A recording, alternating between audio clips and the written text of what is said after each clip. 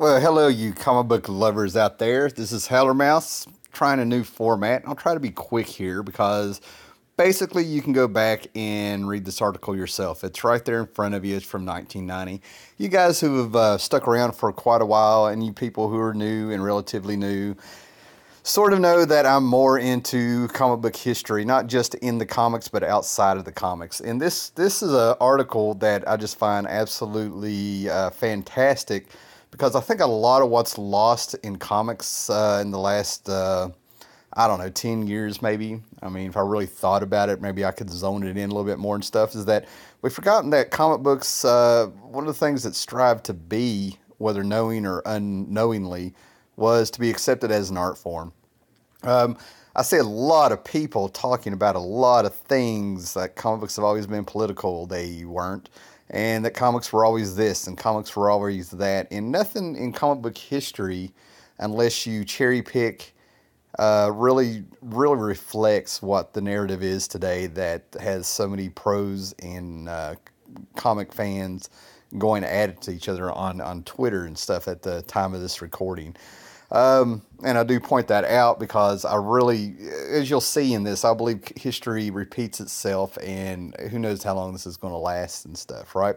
But anyway, um, this is a fantastic um, interview with Art Spiegelman, the person who wrote and drew Maus, Moss, however you want to, however you know, tomato, tomato. Uh, but it's one of the uh, it's one of the triple threat books of the '80s that really elevated comics to be being accepted. But things were going on way before then. Um, so basically, at the uh, art Institute, at a school of the Art Institute uh, in I'm assuming Chicago here. I'm not sure, but uh, Art Spiegelman was 42 in 1990. And this is the kind of stuff that I grew up on. I read articles, uh, you know, here and there, putting, you know, I was piecing together comic book history, from different uh, sources uh, as I collected over the years. Sort of had a, a, picture out there. And I did a video years ago, uh, you know, about cookie dough and talking about the comic book community for what it was and what comics were uh, to me. But anyway, at the time of this, uh, Spiegelman was uh, 42. as you can see here in the article, he'd been praised for its, you know, his work has been praised for its power and originality, originality, and um, as we go on down here, um, he kind of explains exactly how people who worked in comics were seen in America versus Europe. Right there, he says uh, cartoonists are seen by the mainstream art world as being somewhere between a sign painter and a plumber. Uh, in Europe, they're one rung below movie directors, which was amazing uh, to see some you know someone actually acknowledge this um, because heavy metal in the 70s brought a lot of that European art over here. And the most prominent that I can think of is, of course, Moebius. Uh, so in Europe, um, I don't know, 18 years ago maybe, I had a coworker actually go to England and Paris. And while they were over there in Paris, they they brought me a, uh, a, a, graphic novel by Tardi. It's in, it's in French, of course. I can tell it was crime noir and uh, I could still follow or come up with the story just by the panels, even though it was in French. But the interesting story that I got from this coworker was when she was thinking about me. Um, I knew she and her husband ate dinner at their house many times. They were looking for the comics and thought it was going to be like in in America, where you know it was going to be stuck in a corner somewhere on a magazine rack. And then and, and then all of a sudden they said they started noticing a lot of businessmen wearing black trench coats and things. This is in Paris, and it was prominent businessmen sitting there reading these books, and that's how they were able to find them. So right there, right off the bat, right there, uh, it was always something that comic book uh, people in the comic book world, from what I read over the years, would lie about what their job was. They would not admit to living comics, and we'll, he touches on why that was here in a minute. Um, we talk about Maus, um, and, and, and, it really elevated the the medium of comics into an art form um, with the sophistication and the uh, subject matter of what he did. He was t- retelling the stories of his parents as uh, Polish Jews in Eastern Europe in the 30s and 40s, their survival of the Holocaust, and his mother's suicide. He did this, uh, you know, over a few years, and Um, the subject matter was pretty new back then, and Spiegelman moved further into the unorthodox terrain by drawing Jews as mice, Germans as cats, Poles as pig, and Americans as dogs. Um, the, the lecture goes on. They talk a lot about his lecture, but he actually was able to show a presentation during this of cartoons and illustrations going back to the 1840s. Now, a lot of people kind of assume comics kind of started in the 30s. Some people go with, um, you know, first appearance of Superman in 1938. People also go to the comic strips and, uh, you know, the pulp novels of the 20s, uh, like um, Gladiator and things like that. But he goes way back, and this is an interesting read.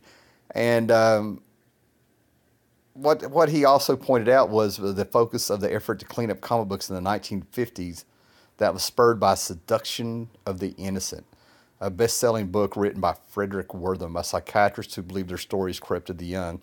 And I know a little bit about the backstory about what led up to Fredric Wertham um, kind of being involved in this and how it made it all the way to uh, pretty much having government hearings and things uh, about comic books. It all kind of started in the late 40s when a senator's wife was at a garden party and she found some comics, uh, a, a, comic stuck in the back of uh, her son's uh, back pocket rolled up and stuff and thought it was just, you know, awful. Now, I've heard that was the late 40s, early 50s, but that's what I'm trying to say. There's a lot more behind it that led up to this. Very much reminds me of the uh, Tipper Gore trials on music uh, hearings in the 80s where we had, um, you know, we had Dee Snider, Twisted Sister, standing right there with um, oh my, uh, John Denver uh, talking about freedom of speech they ended up putting labels, uh, warnings on music CDs, and the sales in those CDs went up. Um, if you want to really see a great video that embraced this and they put that label all over the video in their stage, I think it's a song by Jackyl called Down on Me or something like that. They had that uh, warning all over the video and stuff. They just embraced it. Anyway, that's why I'm saying that history does repeat itself one form or the other. So anyway, the campaign was fierce and uh, hysterical uh, during the McCarthy fever of the times. Uh, there were PTA boycotts at bookstores during the 50s of comic books, uh, congressional hearings that led to a self-regulating code by comic book publishers. The code was very stringent. It was that uh, characters shouldn't be shown smoking. You couldn't use words like zombie. Evil must never win over bad. And there was all sorts of things. So basically, anything you found in an EC comic is basically what the rules are made out of. You know, and this is these are the people that did things like Tales from the Crypt. Um, the, the effort was to stifle creativity in a craft that has always had something of an identity problem. Uh, Spiegelman first to spell comics as comics with an X to uh, connote the mixing of words and pictures and distinguish the serious genre from the funny ha-ha strips, right? Which goes back to comics have not always been political, you know. you know, it's it's like this is not news. This is why the current comic book environment just blows my mind, and how I know that a lot of people are just jumping in, um, in the fight. I don't know what we would call it. Um, just don't know what they're talking about. They're picking and choosing, and there's a bigger picture going on here. It's not about comics. Um, so he ends up talking about Mad Magazine and Harvey Kurtzman, who he considers the father of underground comics. Harvey Kurtzman came out of uh, EC with a surviving magazine called Mad Comics. And right here he talks about, um, you know, he thinks he's responsible as LSD for pr- producing the, uh, the protest generation of the 60s. Let me read that again. I think he's talking about Harvey Kurtzman. I think he was responsible as LSD for produ- producing the protest generation of the 60s. Matt, Mad Magazine taught kids to question. Mad Magazine, for what it was in the 60s and 70s, is not the Mad Magazine we have today, where we have devolved into movie satire, you know, um, television satire and stuff. It, it, I really recommend getting a lot of uh, Mad Magazine, as many as you can get a hold of from the 60s and 70s. Uh, I also feel like, Har- my opinion is Harvey Kurtzman is just as important as Tolkien Timothy Leary, the Beatles, everything from there. You, you put Harvey Kurtzman right in there. Um, so he goes on to where he starts talking about artists and things that came to America and other things, started going all the way back to 1840 sewing slides. And he kind of gets into that's why I'm saying go back and read this. I'm not going to do it, but you know there was humor in this stuff. Uh, the Katzenjammer kids, newspaper strips, printers coming in, and then what I like here is that saying that um, at the turn of the century, when comic strips were in their infancy in American papers, we come all the way down here to where he starts talking about Joseph Pulitzer. Now, I knew about this, but this is the most um, accurate place that I would actually comment on it uh, because Spiegelman just lays it out there.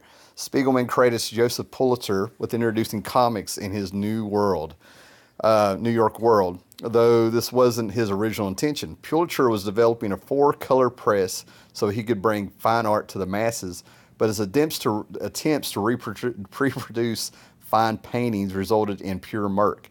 Color comics, on the other hand, looked good in newsprint. It's ironic. So that's what I'm trying to tell you. There was a there's a, just a whole history of how comics even got made. There was a little accidents and things that ended up not working out to where th- these things were able to elevate due to lack of um, um, you know competition. Really, you know. Um, so right there, he says it. Spiegelman said comics were a substitute for high art. So basically, we have the the beginnings of things that will become color comics. Starting at the lowest tier, they're already a substitute, and then by the time we get to the 80s, with years and decades of people being influenced by the pulps and the things they saw the newspapers and the serials and the silent movies and the books and, and everything like that. They start, we have the Will Eisners, the Jack Kirbys, the Siegel and Shusters, the Kuberts, we have all these people jumping up and they're making the rules for storytelling. They're learning and crafting the art. Uh, and when I say rules, I don't mean things like it can be one way or the other. I'm talking about how they develop how a page can flow, how your, your they can make the reader reader's eye follow a story. Um, ways to uh, impact a story through coloring by like having the climax of a single page become colored completely red um, things you don't even think about, how you make, how you control time so a reader doesn't just fly through a comic book, how you pace the story and how you can slow the reader down. Um, so it started, it, it started completely new, like I said, as a substitute for high art, and it took decades for these people to form the art of a comic. And then we had a second generation of people who read comics of the people who lied about it, how during the 50s the worst thing in the world you could be was working in comic books, thanks to you know the seduction of the innocent, uh, painting definitely a black eye in comic book history. But by the time we get to the 70s and 80s, we have people like Marv Wolfman, Frank Miller, um, Alan Moore, people who are fans of the Silver Age stuff, Roy Thomas, who was a fan of the Golden Age. Uh, we have all these people who grew up reading comics and comics in the 60s with Marvel was you know was counter counterculture. And all these influences they had and they had no shame being in comics and they just elevated elevated everything. They they took everything that the first generation of comic book creators took and they just have absorbed it and it blossomed. That's the difference. They were creative. They blossomed. Um, and we go into the first continuing comic character was the yellow kid who appeared in 1896 uh, lowbrow jokes, minority groups, and immigrants, and was favored of the blue collar set. So we get into social classes and stuff. And that's very important because the people who made comics were immigrants and were very poor growing up. They were just looking for a living. So, of course, things like that would leak in there. It wasn't so much a statement, it was a reflection of the world they knew. Um, you know, the Yellow Kid is very important here. You can go back and read a lot of this. Little Nemo in Slumberland in 1905, 1905. And uh, that was even um, given a bit of an homage in Neil Gaiman's uh, The Dreaming um, when he did the uh, Doll's House, um, if you know your comics and stuff. And as you can see right there, uh, sick humor. That was something that was in there with comics. He goes over some of the things like that. Krazy Kat, Dick Tracy, crime, so you see, it wasn't always about politics, if you will. Uh, Dick Tracy, I don't mean to fly through here, but I don't want to sit here and make a super long video, but I just wanted to get to the point here. Comic books appeared in the 30s, an enterprising salesman. As you can see, there's like, I don't know, what is that, 50 years of history leading up to the comic of things that built on it. At first, the comic books were reprints from the papers. Basically, uh, Harvey Kurtzman's dad, if I remember, was the person who more or less started folding comic strips in the papers and stuff to figure out uh, a format, which became the comic book that he could sell and put on newsstands. Then fresh material had to be created to meet the demand and to compete with newspapers, and out of that material came Superman and a host of other superheroes, which became the dominant idiom, idiom for the new medium. Um, and then we go, we talk about Will Eisner, the spirit, uh, Mickey Rodent with EC Comics, where we start getting the birth of the underground comics. Uh, Robert Crumb single handedly was responsible for a lot that happened in the decade. Zap Comics led a re- uh, re- renaissance of cartooning, uh, anger, irrelevance, and humor. Artists of the day were liberated because they didn't expect to make a living from their cartoons. And what I didn't know is that there actually is a time. I knew that underground comics started going downhill in the 70s, but I didn't know it was so early as in 1974. Because of the way that I've collected, this is, you know, as I was growing up, uh, going from the late 70s and early 80s, I started knowing about Vaughn Bode, um, Vaughn Bode, and I kind of knew who Crumb was, but I, you know, his stuff was pretty mature for my little eyes at the time. And this came to Spiegelman and I think Crumb. I need to read this. When it comes to the underground stuff, I'm still learning the history of it, uh, which led to a book called Raw, which I think was in 1980. Um, could be wrong there. So we've won the battle to have comics recognized as an art form. Uh, this was in 1990, which is ironic because of the way things are now. Um, you know, a lot of comics have become. I, I just feel like the the environment in which you can talk about comics in nowadays, mostly online. Uh, a few comic shops that are still surviving, if they're out there. Not all of them, but a few. I've been around them. Um, you know, has turned into what people thought they were in the 50s. Um, and we have a lot of misinformed people out there talking about things passionately that they don't know a lot about, making statements that are just absurd and asinine. Uh, and then I realized that when we lower it down a little bit and stop talking about a standard, they are they're not even really talking about comics period, uh, is what it comes down to. So the, the thing that really bothers me, uh, which led me to do this, is that I've said it for two, three years. I hate all the credibility that has been lost and forgotten. It's not lost. If there's if it's on your bookshelf, if you order these books online, if you get back issues, it's still there. But it's like people have to relearn it if they were really into comics in as an art form. But a lot of the credibility is gone and replaced with the toxic environment that's out there right now. And I can't believe I'm using a buzzword like toxic, but um, that's the only way to really, really talk about it. Um, comic books is just sort of been hijacked for a culture war, war culture war, and that's kind of sad. Um, it really is. Um, I've got a small channel. I've been doing live streams and a few videos where I brought it back around to just talking comics like you would talk with your friends, talk to people at comic book conventions, talk to people in comic shops the way we did. Um, and I also hate that a lot of this history is out there, but people just don't take the time to look at it. And if they do, they ignore it because it doesn't fit a narrative. Uh, the people who worked in comics, um, Harvey Kurtzman, excuse me, Ramona, Ramona Fradon, I, I could come up with all sorts of names, but the biggest thing that came out of comics in the 50s and 60s through EC Comics, Mad Magazine, even with Marvel Comics mostly, like with the Hulk fighting the, they found a way around the comic book code with the Hulk because he was actually fighting the government, and that's why it was counterculture, was that it taught you to question things, and to question things you have to break away and think for yourself and it's quite a journey. It's not the kind of thing where you get an easy answer. You have to take in the big picture. You have to consider, you know, your own faults and assumptions and put them to the side. And uh, it just blows my mind that the, we, we've fallen into hive minds. Um, you know, they, they call them echo chambers and stuff. But this is just somebody who has grown up his whole life kind of being contrary, has slowly, um, slowly sort of gotten into the game of what's expected a little bit, uh, just to chilling out with age and stuff, um, and calming down. But um, I would really like to see somebody break out, to really break out and uh, be listened to uh, about thinking for yourself, questioning things, because uh, just because there's two sides doesn't mean either one is right. Because thinking in absolutes is just not reality.